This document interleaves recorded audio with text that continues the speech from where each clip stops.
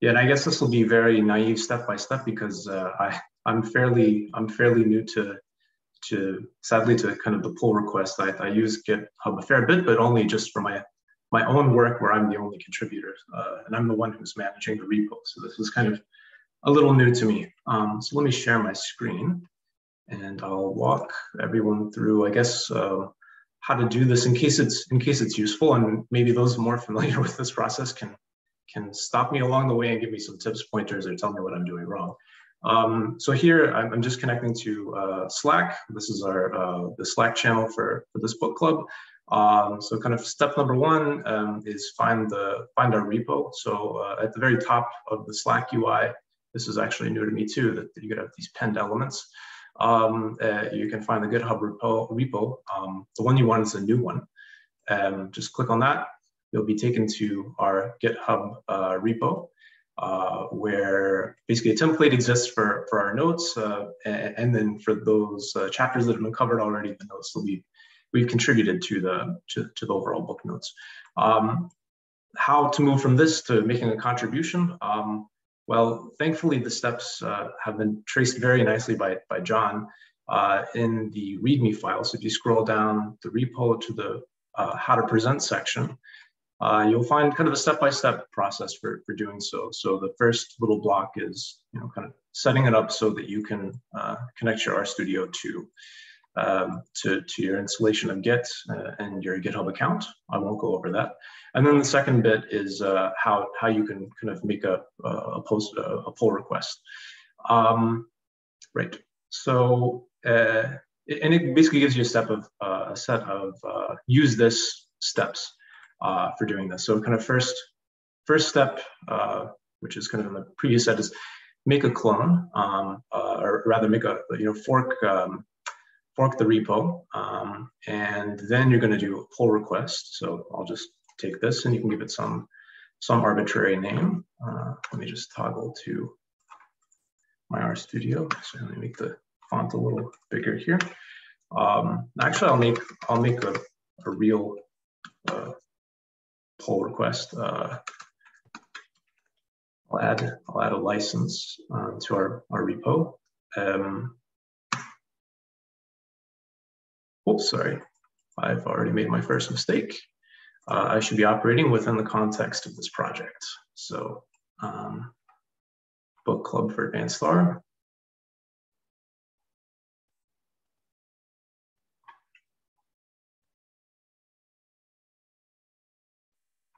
So now RStudio is loading up my um, book club for advanced R uh, project. And now that I'm in this context, I'll do my first uh, pull request. Uh, license.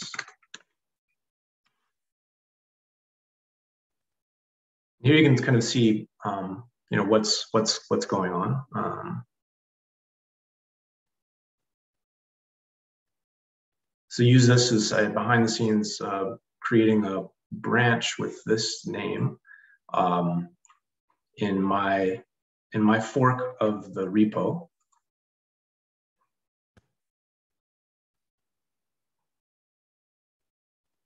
So I'm not sure why this is taking so long. Maybe I'll just narrate the other steps while my, my RStudio catches up. Ah, here we are.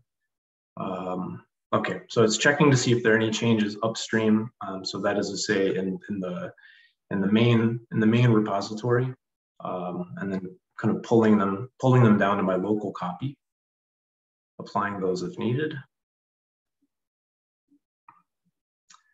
And creating, creating my branch. So you can see up here in the Git pane, sorry about the uh, overlay here. Um, I'm in the add add license branch. So there are a few branches of my my my repo. I'm in the add license branch. Um, so actually, I'm going to add a license.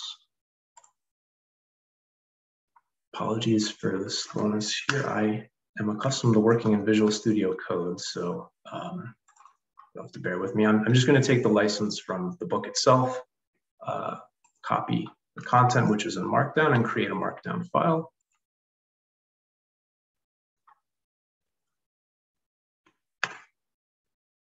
Perfect. Save it as uh, license.md. Okay, so now I've made I've made some changes. Uh, next step is um, right. So this this is relevant if you're if you're making some changes that where you need to use other other packages. Have a look at this. For me, it uh, I'll, I'll, jump past that. Um, then then build the book just to make sure more is nothing more than kind of a sanity check to make sure that the book the book builds um, correctly after you've uh, after you've made the changes. This will take a little while as my local uh, computer and local copy get built into the book. There won't be any real changes in terms of the output, uh, but now there will be a, a license file,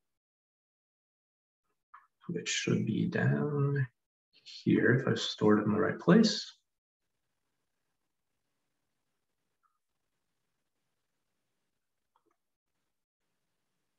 Ah, there's the license, yeah.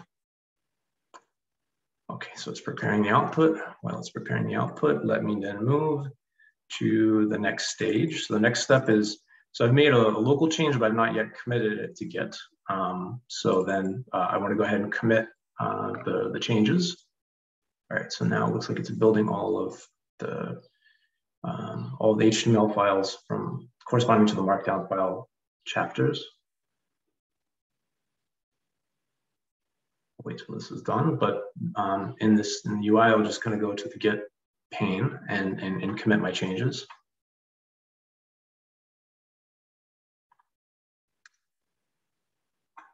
It's probably okay to do so now, even while things are going on here.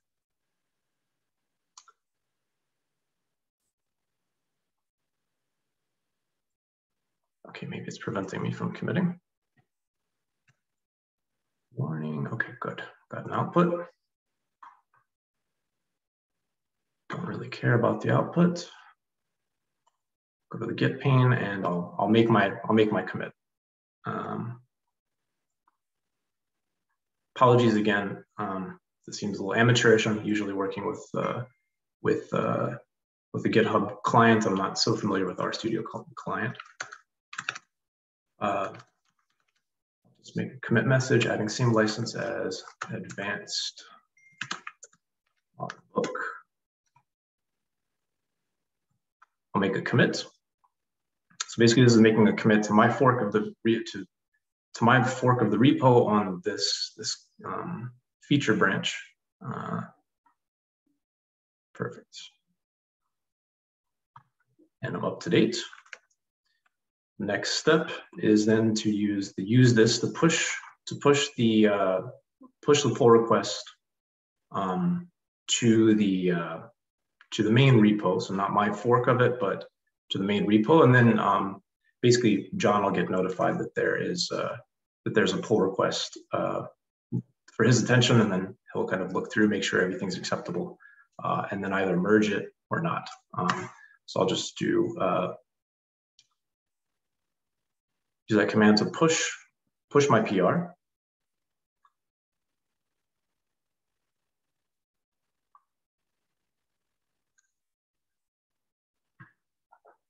Apologies, my computer looks to be a little slow. It hasn't had its afternoon coffee. Okay.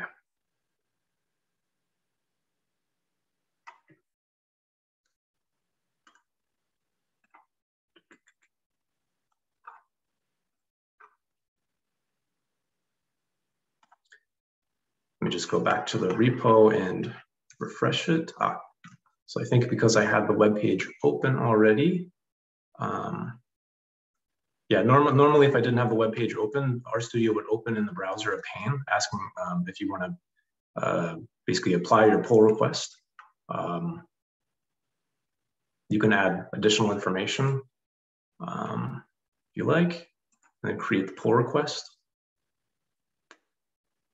And then here you can see this is the not my fork, but the uh, the original repo. Now there's there's a there's a pull request um, from from me uh, waiting waiting to be merged.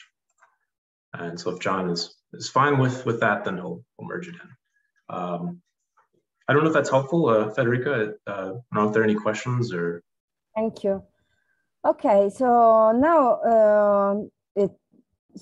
So you do you need to cancel your branch now, or you just the next time you need to uh, push something? Yeah, thanks. That's that's a great question. So um, here, I guess I'll kind of say what I've done within RStudio and. Um, uh, I, I, kind of have some of these questions my, my, my, my, myself on, on kind of how this works, but you know, in the advice on the um, uh, on, on the repo itself, uh, you know, for the next step is um, kind of the well implicitly to hold off until there may be changes that uh, that John or others will uh, either make or request that you make. Uh, so right now there's kind of an active pull request. You know, additional commits could be made to that pull request. But once the pull request has been merged, um, then then you have uh, the step, and this is what you're asking about, Federica, is uh, uh, uh, usethis command to usethis PR finish, and so it closes out my, my branch and then, then then prepares the the repo for for making a future commit. Um, I, I, was actually reading up on this briefly before our call, but I think what's also being done in this function is um, kind of uh, closing the branch and then maybe also re rebasing, kind of like uh, rebasing your your your fork uh, of the um, your your fork of the um, uh, of the of the repo so that it's it's up to up to date uh, with you know like the head of, of, of the main of the main branch uh, on the original on the original repo. And I think Thank that you. also I think also the stage of the PR init I think the same thing happens as well, but it doesn't look like there's an additional step you need to take, at least so far as I know, to sort of um, apply, like as an additional step to apply changes that have maybe happened since you've last touched the repo. But for those interested, and I'm, I'm definitely one of those people, uh, the usethis page actually has, so if you go to the usethis uh, package documentation, there's an article on, uh, on pull request helpers is what they call it, that gives a, a little bit more detail on how all of this and how all of this works and what the functions do, you know, beyond what their, their, their names may suggest.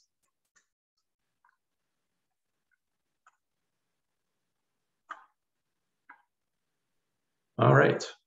Any anything else? Any other questions or things people wanted to add? Were maybe hopefully more familiar with this than I.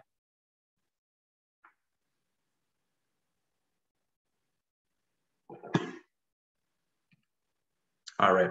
Um, if not, I'll, I'll just dive into uh, today's chapter.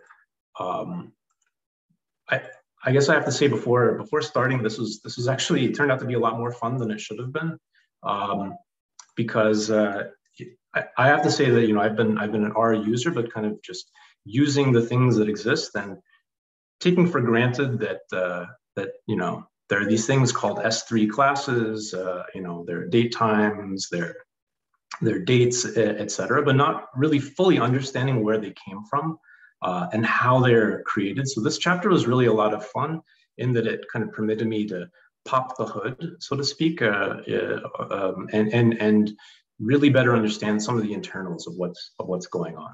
Um, so with that in mind, um, learning objectives uh, really just uh, you know. Um, last time, you know, last session we learned about kind of names and values. Here we're going to kind of talk about vectors. And vectors, I think it's worth understanding, is much broader than just what you might uh, kind of naively understand as a like an atomic vector. It's a bigger, bigger class, uh, bigger set of things. And then learn how those things relate to one another. So I'll be coming back. I, have used throughout the notes, um, I, I, pulled in a lot of the images from, from Hadley's book because I found them really quite useful in setting things up.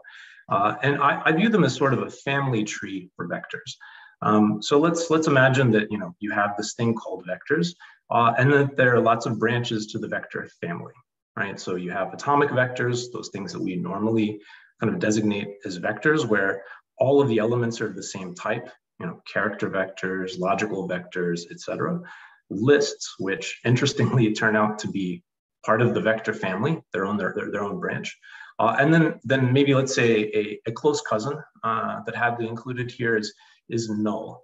uh, which isn't formally a vector, but you know is kind of useful to talk about in the same context as, as these other as these other objects. Now, this this tree you'll see like as we go from section to section is going to grow more and more branches as as we learn more and more about vectors. Right. Um, good. So first, let's look at atomic vectors. Um, so here we're back again to what I'm calling the family tree. And here you can see, you know, we're going to go through the vector branch of the, uh, uh, the sorry, the, um, the atomic vector branch of the family tree. So remember the family tree, we've got here vectors, atomic vectors, and then lists. So we're going to go down the, the, down the family tree to atomic vectors, of which there are several types. Um, so, you know, you have the ones, the ones with which you're hopefully very familiar, logical vectors, integer vectors, double vectors, character vectors. These are, there are a few others as well, but Hadley, you know, for simplicity uh, uh, um, uh, of exposition, um, you know, he, he excludes. Uh, but these are, let's say, the the all of all, all of the all of the uh, atomic vectors that that exist.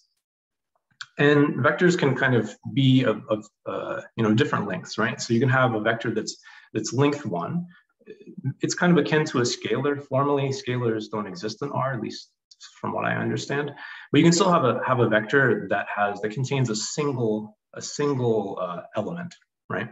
Uh, for example, logical vectors where you know you can represent them as you know, true, uh, writing out the word, or just a t, false, or just an f.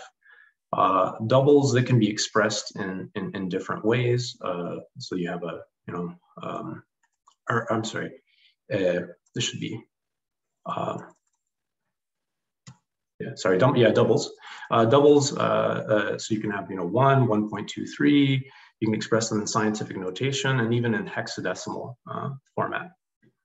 Um, you can also have another type of numerical vector, so an integer vector. Um, the difference here is you kind of want to have to kind of postpend an L um, to, to the end of your, your number, just so that R understands that you're intending this value to be kind of cast to, to the double type, right? So this is a double that's that's one, right? Uh, one point, uh, uh, or, or, say integers. Um, um, strings, um, strings here, you, you, can capture lots of things. You can capture them with double quotes, as I have here with hello, with single quotes, again, hello. Uh, they can contain Unicode strings, so this is uh, um, hello in Arabic. Um, they can also contain kind of special special characters. So this is the the uh, uh, Unicode. Uh, um, this is the Unicode code for the sweaty smiley uh, emoji. Um, vectors can be you know length one, but they can also be longer. Um, and there's several ways to make them longer. Uh, one is you know with uh, just by adding additional elements. So here we can have, uh, you know, with the combined function, C, uh, you know, true, comma, false, and then now I have a length two vector, length two logical vector. You can also combine uh, uh, uh not just uh, individual elements, but you can combine vectors with vectors to make a vector that contains all of them. So here you can see I've got one vector, which is one and two, another vector three and four, and then I'm combining both of these to end up with the following vector, one, two, three, four, right? Um, uh, a little bit of an aside, I guess I was doing the, uh, looking through the book, I, I, went down a little bit of a rabbit hole um, and, and, found out that, uh, you know, th these are all ways in which you can kind of compose vectors, um, you know, make them make them longer, uh, uh, compose vectors and make them longer with base R up to this point. it turns out Rlang, um, which is an R package, also has kind of vector constructor functions. Um, and, you know, what's kind of interesting about them is they are, unlike um, uh, you know, the combine function, uh, which just kind of coerces everything to a, to a type. We'll come back to coercion in, in a moment. Uh, here you can explicitly declare the type of, of what's in the vector. So you can say, you know, I'll, I'll have a, a, logical, and then you can uh, include these things, and you know that this is going to get resolved to a logical vector. There aren't any any surprises. Um, there are other things that it that it that it does uh, more than just kind of see. Um, you know, again, it enforces types. You can you include a list, you can splice the elements of a list, which may or may not be useful. Also seems like it, it, it, points to other types that don't seem to exist in base so far as I know, like bytes, and I'm actually not sure what CPL is. I, I didn't have time to look. Um, uh, right. Then, um, you know, with vectors, you can also have contain missing values within vectors, but be careful about the inclusion of of missing values because they're sort of contagious, as Hadley puts it. So, um, you know, oftentimes when you do operations over a set of, of values, uh, you know, a set of elements that include, um, you know, one or more uh, uh, NA, then then those NAs can kind of uh, um, infect the rest of what you're doing. So if you multiply five times NA, the result is is NA. Uh, if you kind of sum over a, a vector uh, that includes NA, then the result is is also NA. But there are some ways you know, with which you're probably familiar to kind of inoculate yourself against the, the sickness of, of, of NAs. So if you're wanting to do a mathematical operation like this, uh, like you saw before, you can just say for this operation, exclude, uh, you know, remove um, NAs from, from the operation such that the result is what you expect, one plus two plus three. Um, now, NA is here, so far we've just seen an NA that's kind of a a basic NA, but there actually are other types of NAs uh, that exist. Um, you know, Hadley kind of uh, in the book went over them rather quickly, um, saying that most users wouldn't have to use them, but I think there are, uh, at least in my experience, there are contexts where uh, you have to know about this, uh, uh, where, where, where, the type, where, where, type matters. Um, so, you know, you can have a logical value that's an NA, uh, integer has its own and a double. You can see basically the, the, the ideas, uh, with the exception of logical, which is just NA. The, so there, the logical is flavored NA. For each kind of type that exists, um, there's, uh, you just kind of uh, postpen underscore and then the name of the type. Uh, and then you end up with an NA that's of the type, uh, of that type expected. Um, some places where this matters, I know things have changed, but I know I have definitely spent more time than I wanted uh, with with dplyrs if else, uh, which which is really strict about types. Um, so if you're saying, um, you know, if if there's an in, you know, if there's an in if um, if some condition is true, then replace it with an NA. Otherwise, replace it uh, with with uh, a double. Uh, dplyr if else will, will, will protest uh, and say, well, you know, the NA is not of, of, of type uh, type double, for example. So you need to make sure that the types are, are right. Um, on then to kind of testing about uh, vectors. So these are kind of some of the common themes that you'll you'll see in the chapter, uh, the kind of walk through of you know the types of things and, and looking at them, and then uh, looking at testing, coercion, etc. Uh, for, for for testing, you know, you may be wondering uh, if you have some vector that exists, you maybe in your global environment, you may wonder what type of vector is it. Um, well, uh, the good news is there are ways to test for for a vector's type uh, you have these base R functions, you know, is logical, uh, is integer, is double, is character, which will enable you to determine whether, uh, you know, any given, um, any given um, uh, vector is, is, is of the type you expect. Um, uh, this may be important if you're, you know, kind of processing user inputs or, or, or you have some, some function downstream that expects a vector of a particular type. Um, you can check that it's of the right type before passing it on to to, to, to some other operation. Um, so that's testing the type. but You may also want to make sure that like a vector is is is is the type of uh, something that you think of, uh, as a vector is actually what you you think it is. Uh, and Hadley points out in the book that there are a few functions in base R whose names would lead you to believe that they would they would test this, but actually they don't, uh, or at least not quite. Uh, and Hadley points, you know, interested uh, readers to uh, kind of look carefully at the documentation. You know, is vector doesn't quite determine whether something is a vector, is atomic doesn't quite determine whether the vector is an atomic vector, so a vector with, you know, only the same types of elements in it. Uh, but um, happily, um, comes to the rescue. Uh, so they have a few a few functions that I found that, that actually do the thing that base R doesn't. Um, so you have a, a, an is vector function, an is atomic function that uh, yield the results that you would you would hope. So if I have a vector of uh, kind of one, two, um, and um, uh, you know, I want to see is is this thing actually a vector? I can test whether it's a vector, and it turns out, of course, that it is. Uh, also, I can check whether a list is a is a vector, uh, and, and it is. Now, remember the, the family tree. So the, the vector, a list is kind of a, a type of vector, uh, as we'll come to see. You can check whether the, the vector in question is atomic. So if I just have this, it's atomic, uh, you know, it's, it's uh, just got the same types of uh, elements in it. So it returns true. Um, and you know, if I try to uh, see if something is atomic, I can create a I can create a list that has um, elements um, that are of different types. So here, numeric, here, character. So obviously this is this is false.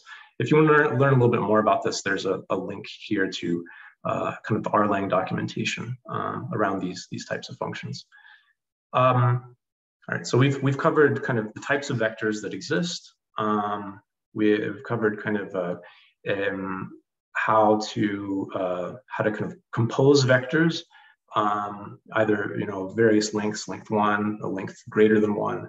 Uh, uh, do some testing. Uh, the other topic that comes is kind of is, is coercion. So coercion is basically is when you have a, a, a, a, vector of a certain type that um, gets transformed into another type.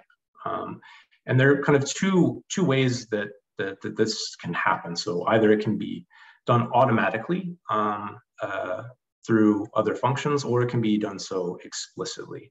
Let's first look at the automatic, then we'll come to the explicit. So for the automatic uh, uh, coercion, um, there, there are two things, uh, kind of two types of operations in, in, in R that, that could coerce, uh, uh, that could coerce a, um, uh, a, a, vector uh, into certain types. There are certain rules I won't go over here, but um, uh, there are certain rules about how things are, are, are coerced, uh, at least for the these kind of mainstream atomic vectors.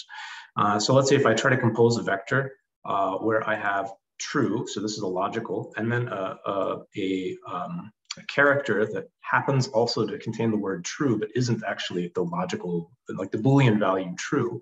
If, if I, if I, uh, if I combine these two with a C operation, um, uh, then, then you can see that the result, so I'm just looking at the structure of the result, uh, is character. So this Boolean value gets coerced into a character value. So there are a few rules about how this works. And this is done automatically with uh, uh, just following R's own internal rules. Uh, once this kind of the C function is invoked, R has its own set of rules about how to how it coerces things into into different different types. If if there's as is the case here, kind of a mismatch of types within what should otherwise be a, an atomic vector. Uh, another place where automatic coercion happens is in mathematical operations. Um, this is one, uh, one case that I've, I've, definitely used to my benefit many times. Um, so let's imagine you have some logical vector. Maybe you can think it's, it's a, a column in a, in, a, in a data frame um, that kind of uh, captures um, in, in, logical terms about whether an attribute exists or doesn't exist for a certain observation. So uh, has the attribute, doesn't have the attribute, etc. Um, well, it turns out you can you can sum over this uh, uh the elements of this uh, logical vector, right? So this is a logical vector, and you get a number, right? You get a numerical result. What happens is that uh, R performs its automatic coercion at the time of kind of invoking this, this the sum function, and it, it, it kind of coerces Boolean values into um, their numerical equivalents. So a true becomes a one, a false becomes a zero. So then we have one, two, three trues. If you sum that up, it's, it's three. So you can see where this result comes from. This is automatic conversion, uh, which which happens in certain contexts again with with with the uh, combined function and then with mathematical operations. There are also ways that you can explicitly coerce, uh, although I guess maybe this is maybe more casting or recasting. Um, uh, you, this family of functions of as fill in the blank, right? So as logical, uh, you know, maybe you could take a, a, an integer vector of ones and zeros and then uh, and then kind of recast them or kind of coerce them into Boolean values of true and false. Uh, and you can imagine what the, the, the rest the rest will do. Um, but as you might as you might imagine, coercion, whether it's it's explicit or, or implicit, uh, uh, or, or, automatic or explicit, you know, may may fail, right? Uh, and, and and it fail it can fail in a few ways here. Uh, sorry, I don't know if you can see this bar blocking you. I'll move it out of my way. Um, uh, but you you have uh, you know let's it, it, can fail in a few ways just with a warning or and or an error um, like a hard error that would stop execution or it can just generate nas in, in, a, uh, in place of values that couldn't be coerced. Uh, so imagine here you've got this this vector uh, or this effort to make a vector of you know one two which are numerical values and then the word three written out. Um, so then there's no rule that converts uh, this character into an integer value, which is the what I, am looking for, an integer value. And so in place of three, um, I get an NA. Okay, good. Um, next, next topic. Uh, so we've talked about types of vectors. We've talked about, uh, we looked at a few uh, atomic vectors, the types of atomic vectors. Now let's look about, look at attributes. So this is kind of a first introduction to attributes, data attributes. Um, that's going to set up some of the, the sections that will come on, on S3 atomic vectors and, and uh, other things, uh, data frames. Um, so basically for attributes, you can kind of think, this isn't the way Hadley sets it up exactly, but I found it useful to think of it as, you know, what are attributes? How do they work and why would you want them? Um, so I'll try to go over those topics uh, uh, so first, you know, what what what is what is uh, what are attributes? Um, I'm not going to offer like a short answer, but you know, you can think of them kind of in two ways. So one way is they're kind of a set of name value pairs. So basically, as you'll as we'll see in very shortly, um, if you're going to add uh, an attribute to an object, the attribute needs to have a name and then needs to have a value. Remember this names and values concept. Uh, so it's a name name value pair.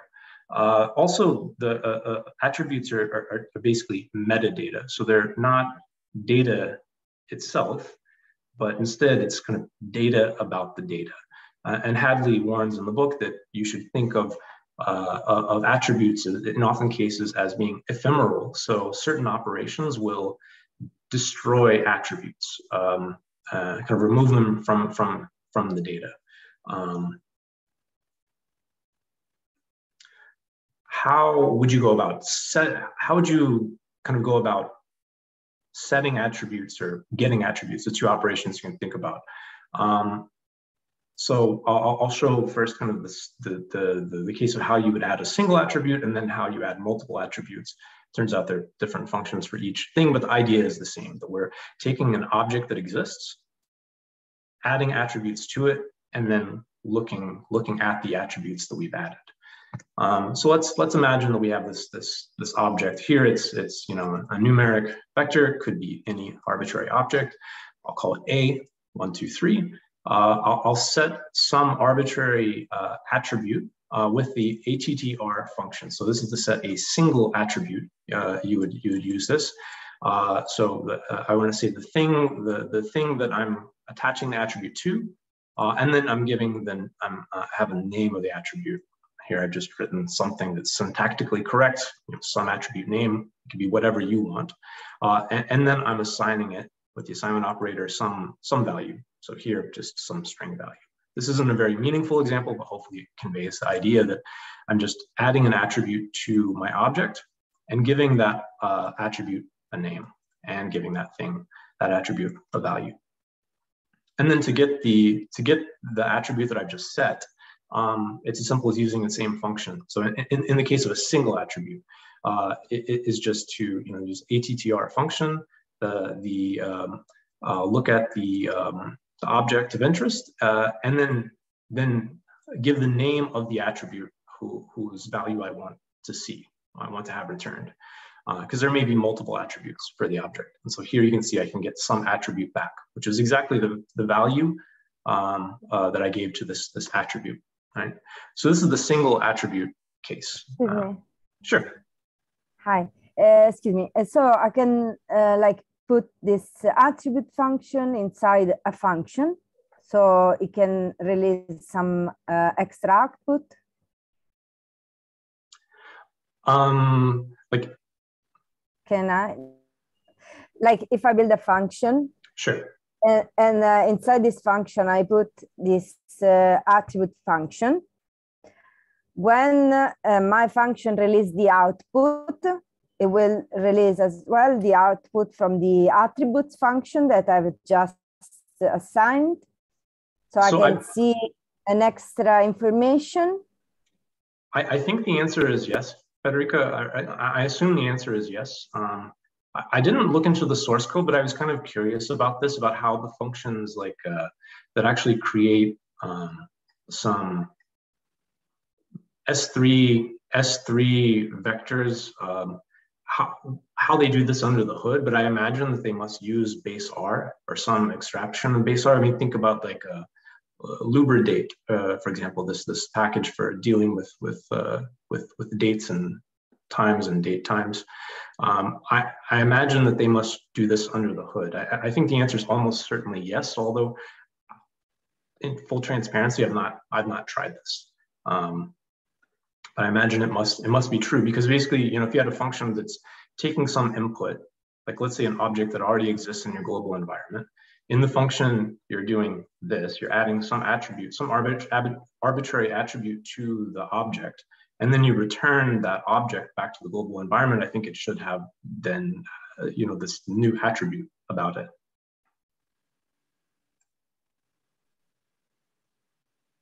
I guess in short, I, I assume yes, but maybe I'll take his homework to make sure or and or look at some of the source code of, of, of some of the packages that I know create some S3 atomic vectors.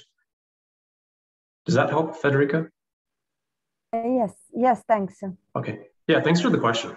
Um, uh, and, and so now let's kind of move to the multiple attribute case. So there are different functions, but the idea is very much the same. Again, let's have some arbitrary object. Again, I'm just making a numerical vector for simplicity. Uh, there's a function called structure, which allows you to kind of specify the object that you're to which you're going to um, add attributes, and then then I guess the kind of dots that follow are these these series of um, names uh, and values. So on the left-hand side, this is the name attrib one, and then this is the value of attrib one, so uh, one. Uh, these, these values, in, in, my cases, I'm just using strings, but they could be, I, I think they could be other things as well. I think they could be char character vectors, for example, or other, other objects. Here for simplicity, I'm just, you know, having a, having a name and then some character character value that I'm assigning to that attribute. So here I can set the, in, in, one go, I can set attrib one and attrib two for, for the object B. And then if I want to get the attribute, um, then there, there are, uh, the way to do it is, you know, at, attributes. So whereas here it's ATTR to get a single attribute, a single attribute of a particular name. Here, if you want to return the, uh, all of the, the list of all the attributes, um, then, then you just use the attributes um, and then you'll get the, the list.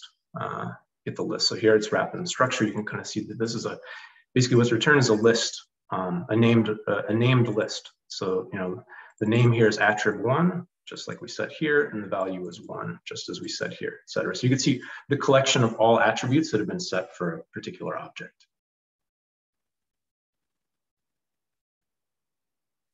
Why, why would you want to do this? Um, there's more why coming, uh, or maybe I'll mention it now, but I, I, think there are kind of two common use cases.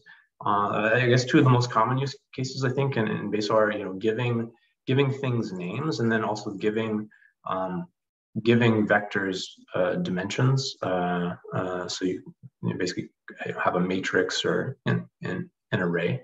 Um, let's look first at, at, at, names. So there, there, the, the, the Hadley's book uh, basically outlines three ways to name to name uh, or rather to uh, give names. Uh, there's there's a fourth one which I've I've added I guess kind of maybe for completeness. Um, you know uh, one one way that you can add names is kind of at the creation of the object itself. So here we've got the the combine function. So rather than just having elements one, two, three, we can actually make this and we can apply names at the outset. So one, two, three. So where this this is a this is the name of the element, that's the name of the element, and that's the name of the element. So here we're creating this this object one, which which uh, is is named at the moment of creation. Um, second way to do it is is by assigning um, a character vector of names. So let's imagine we have this, this the same the same numerical vector we'll call two, uh, and then we can set the so we can set the names for two. Use the names function and then assign to the names uh, uh, kind of attribute, uh, uh, you know, a character vector one, two, and and three. And so one will get applied to one. So basically, string one will get applied to numerical one, string two to numerical two, etc. Um, I'm actually not sure if there's a there's a recycling rule here. So here I, have got three elements and three uh, three names and then three elements. So there's a name, a distinct name for each element. I'm not sure if I just if I omitted one element. I'm not sure if there's a there's a recycling rule. Maybe another bit of homework for me. Um, oh yes, yes. You need to to have the same numbers otherwise you, you don't have names to assign to anything. Yeah. Yeah, either it'll be missing a name, it'll be null, or maybe it'll be an error. I'll, I'll, have to try that. Um, um, there's another way that you can set names, and it's with this function um, in, in, base R. I guess you can say base R held. It's like the base package, the stats package, set names. So I've, I've provided the namespace here only because of what's going to come next. Um, there's another set names function from a different namespace. Uh, so let's imagine, imagine again, we have the same object, just give it a different name. Um, here, uh, set names, I'm saying which object, uh, um, for which object I'm gonna set names, and then I, I, I provide in this nm parameter the, the, the character vector of, of names. And then here you can see what's, what's been created. So these are the names on top and the elements below. And the last way that you can do this, and this is um, kind of maybe functionally equivalent at some levels is using uh, Rlang. Uh, so I guess catch on a common theme as I, am always kind of looking to see what, what Rlang has to offer uh, and where, where it maybe it differs. Uh, it, it is, so here you have Rlang uh, set name. So here it's in the, I guess they call it snake case instead of camel case. Um, so I just wanted to, you know, provide the namespaces here so it's clear, you know, where it's coming from. This is, you know, base this is this is Rlang, but the idea is very much the same. Some of the parameters have different, slightly different names. It's X here instead of object, but the idea is, is identical that we can take this three um, and then uh, and then apply um, names names to it. Uh, set the names at set the names attribute with a, a, a vector of character values. Um, the other thing I guess I wanted to bring up, at least it's kind of common in, in, in my own experience, I don't know how much so for, for others, uh, is is uh, the uh, there's this package also by Hadley uh, uh, called Haven, which deals with um, kind of ingesting um, ingesting data files from other you know produced by other statistical software packages, um, and in dealing with basically it creates also a, a, class called the labeled the labeled class, which allows you um, kind of a bit like with factors, much like with factors actually, um, to have values uh, and then names for those values. So here you can probably see from my taskbar, I'm a, I'm a recovering Stata user. Um, uh, in, in, in, other statistical software packages, Stata, I think also uh, SPSS, uh, SPSS, it's, it's very common. Um, a little bit less common, I think, in practice than R, but still, you know, I just wanted to have a little uh, shout out for for uh, Haven um, as another way that you can set set names uh, uh basically for the values of of, uh, of vectors in the data frame, or actually values of any vector. It turns out. Um, so that's on names, setting names, which is a kind of common use case in, in, in base in, in, R. The second one is with, with dimensions. So here, I'll just have a short example. Um, uh, you can kind of have this, this uh, you can create a matrix from uh, a character vector of the values from one to six, and then you can set the dimensions. So the dimensions are, because it's a matrix, kind of have, you know, um, uh, you know, the number of rows and the number of columns. And the result will be basically this matrix, you know, one, one through six that's spread across, uh, spread across two rows and three columns. So one, two, three, four, five, six is the way it gets laid out. So these are two common common cases, uh, I guess in kind of base base R um, for for attributes. But the biggest why is coming in the next in the next section. Um, uh, we're going to look at the S3 atomic vectors. So here we're back to the, the family tree of vectors, still in the atomic vector branch of the family. Um, and here we're going to meet a few children of the types that we saw previously. So we'd seen basically the whole family tree, atomic, all the different types that exist. And now you're going to see that the children, there are some children of these types, right? Um, uh, we'll look at each one of them in, in, in turn, maybe kind of a little quickly, uh, give, given the time. Um, uh, but you know, fact, uh, uh, factors are uh, kind of a, a, child integers, and then doubles kind of they're they're they're basically two um, two S3 classes that that are can be derived from from from doubles. Um, maybe at the end I'll come back to this little little note. Um, so really, you can wonder like, okay, S3 heard it before. If you're like me, you've heard S3 lots of times and never really understood what it what it meant. Um, so really, what what makes an S3 vector different than their parents? Um, and two answers. Um, uh, typically, both answers is number one, they have a class, uh, and they have attributes. So callback to attributes. Um, you know, attributes that is in addition to the, the class. As we'll see, it turns out uh, that that the class, I think the class is also an attribute. Although here I may want to do a little research and make sure I'm right in that that statement. Um, but I, I, think it's it's a class insofar as it's something. It's like an attribute that's attribute in the broadest sense that's added to an object. Uh, it's given a class, which hasn't existed up until this point. We've just had vectors of types uh, that are um, uh, you know, these atomic vectors uh, that have types, but they don't have anything else about them right? They don't have any other attributes unless we explicitly add them. Now we're coming to S3 atomic vectors that come with a class and typically an attribute. So let's look first at factors. Um, so it turns out factors are um, uh, factors are, are, integer vectors um, that have two additional things about them: the class factor and then some levels, uh, which is basically a list a list of all of the uh, an exhaustive list of all of the levels that that the, that the uh, factor could have. So here, let's build a factor. This is going to be kind of the common setup is build it, you know, construct the thing, inspect the thing, and then dissect the thing. Um, so uh, let's build it first. So let's have a factor, this object a factor. Um, you know, it is an integer vector, one, two, three uh, and uh, an exhaustive list of values. So here I have one, two, three, and four. Notice that four isn't present in my vector, but I'm saying that it's it's a member of uh, of, of the, the, the list of possible values that that that uh, that this vector could assume, right? Um, and then if I look at just simply look at a vector, you can see that here I have, uh, or sorry, a factor rather. I have the values one, two, and three, and then I have the levels one, two, three, and four. Excuse me. Right. Sure. How can I have four levels if I have just three values? So this is something that I think is particular to factors is that, um, you know, and, and Hadley, so I think like the common point of confusion here uh, is that I, I think in, in, base R back when string, when you could create a data, we're going to come to this, when you create a data frame uh, and strings are coerced into factors, the factors and the levels are the same. Like you couldn't have a factor level um, that doesn't exist in the data frame.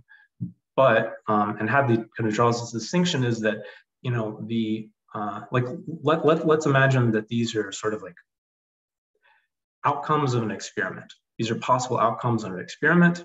Um, you know, that we know from theory or from our design is, you know, one, two, three, and four.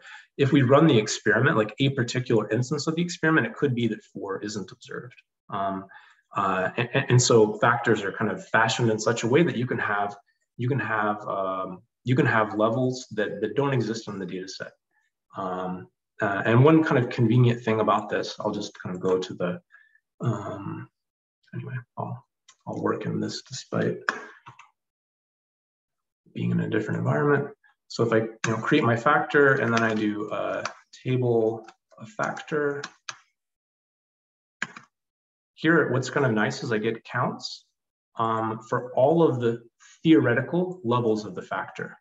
And here I get, you know, it, it's actually useful that I see that there are no levels of the factor uh, that correspond in, in, in, my, in my data set. I don't know if that helps, Federico, or if it is Thank you. confusing. Yeah. Okay. Yeah. Um, so I look, uh, and then I can kind of dissect it, and then I can look and see, you know, what's the type? Um, you know, what's the type of my vector? So we know it's a factor. We made it a factor, but still I see the type is integer. So, you know, remember the family tree, uh, factors are integers in disguise, I guess you can say. Uh, and then if I look at the attributes, uh, I can see that I, I have a, a, named list. So uh, the name is levels, um, and then you can see the, the levels, and the levels are string values. Uh, and then there's another attribute, which is the class, that it's a factor. Um, I'll, I'll, skip ahead out of time consideration, so I'm running a bit long. Um, the, the same uh, kind of, I'll speed through the rest so I can come to the data frames, I guess, but uh, suffice it to say that the other S3 uh, uh, atomic vectors follow the same principle um, that, you know, uh, they are, at, at the fundamental level, they are uh, part of, they're an atomic vector that has something additional about them, right? So dates are, are double vectors um, with the date class. Now the additional, you know, you may be scratching your head wondering why is a date uh, a double? Uh, and it's for this reason that it turns out that the, that, oops, sorry, that the, um, wow, stray click, sorry about that, um, that the, uh, that the date, the dates are, it's the number of days since January 1st, 1970. Um, Uh, so again, you know, I can create I can create a date, so system date. Um, I can look at its type. It's a double. So what I claimed is true. It's a it's a it's an uh, atomic vector that's a, a, a double, uh, but it has some additional things about it. In this case, this class date. Um, similarly, date times. I won't go into the details. A little, it's a little complicated, um, but the same thing is true that you know you can build you can build a date time. Um, uh, so system time and then a time zone. Uh, you can look at it, it prints a certain way, kind of dissect it and you can see that it's, it's you know, indeed a double because the date times are built, built off of doubles and that has the attributes of, of, of two, two classes. Um, and same with, with durations. So durations are, are um, double vectors, um, class difftime, uh, and then they have attribute units. Um, so I can construct, um, you know, this this uh, this vector one minute, um, which is uh, you know as date time. I have a like a, a, vector with one element one, and then I'm saying that the units here it's not seconds, it's not days, it's it's it's, uh, it's minutes. Um, and so then when I inspect it, I can see that you know that the minutes are are displayed. Again, I kind of dissect the, the thing that I've created, I see that it's a, indeed a double and it has a few other things about it. So the class difftime and then, um, uh, then units, minutes in this case. Um, just to call out, I guess, to kind of a few similar types of uh, S3 objects. I've not really looked in details, but it's very similar to this. Um, yeah, lists. Uh, lists are also are commonly called kind of like generic vectors. Uh, they can be composed of multiple elements. Uh, you know, here I can make a simple list that contains all of the types we've seen up until this point. Uh, if I inspect it, I see that it's a list, and then if I look at the structure, I can see that basically each uh, each um, element uh, of this list is is a is a vector of a particular type. You can have nested lists, uh, you know, lists of lists of lists, etc. Um, kind of like JSON. Um, you can combine lists uh, in different ways. So um, basically have one list, a second list, and then wrap it in a list to make it kind of a nested structure, or use the C command, and you get a very odd outcome here. Um, it sort of um, makes into a list of individual elements instead of a, uh, a list. Um, right, so you can test that, you know, list is a list, uh, in a few ways with these commands to see if it's a list. Uh, uh, also with rlang, you can also uh, check with isList function, see if it's a list of a certain number of elements. Um, right. Uh, coming now to the data frame with, I guess, the one minute that, that, that remains, this is maybe the important part. Um, let's come back to the to the family tree. So now we're we're still within vectors, but we're going to the other major um, branch of the, the family tree, which is lists. um, which we've gotten over, and then lists have, uh, uh, you know, have they're sort of like uh, the S3 equivalent. They're sort of like the S3s of, of, of the list uh, family. Uh, so we have the data frames and, and, and tibbles. Um, you know, data frames are really nothing more than a, named list of vectors, you know, where the names are the column names. The class that they have is a data frame. Uh, and then they have some attributes, um, you know, the names of, of the columns, uh, the names, uh, which are the names of the columns, and then potentially also, also row names. Um, so if you kind of construct the data frame in this fashion, um, you know, it's a set of atomic vectors. Uh, you can see what it looks like. Uh, and then you can also inspect, uh, kind of deconstruct it. You look at the type and it turns out that it's a list because again, uh, a data frame is a special type of list. Um, and then you can look at the different attributes, you know, the names, which are the names of the columns, the class data frame, and then the, the row names. So by default, I think these are just the, the, the count numbers, you know, the first, second, third um, uh, uh, rows, although you could set row names uh, separately. Uh, tibbles are very much like data frames, um, but they're, they differ in two ways. Hadley kind of jokingly and, and, and, in short kind of calls them both lazy and surly. Um, so lazy in the following way that tibbles don't do some of the things that data frames do. Um, they don't coerce strings, they don't transform non-syntactic names, and they don't recycle um, in, in inputs where the inputs are greater than one value. Um, so if, if, you're composing a data frame in the past, uh, you know, and they consist, you know, here I have a, a, a, a, call, a vector of strings. Uh, this, this would result in, uh, you know, coercing, coercing the strings into factors, right? That was the default behavior in the past, I think R 4.1 that changed, uh, but in the past, uh, it would coerce the, the strings into factors.